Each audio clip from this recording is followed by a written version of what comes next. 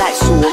Giờ này con mới tan ca con đi trên đường phụ đầy cứ chẳng con nhớ gia đình ở nơi xa. Về con ở nhà bà hay đâu ốm gia đình mình cũng chẳng có chi. Các em của con chỉ hẳn mơ ước gia đình chúng có ngày tivi vẫn là thân trai không phải bước trải về đi làm việc ở xa quê. Các bạn ngày đang ngày tháng tháng trên kênh nhạc toàn thắng chúc các bạn nghe nhạc vui vẻ. Con gia đình con đã hứa tết năm sau con sẽ về. Nhưng đã hai năm con xa quê hương con vẫn chưa làm được những thế bỏ lại những thứ tuổi nhỏ mơ một ngày con được vào đại học. Giờ với phương trời sang cực nhọc.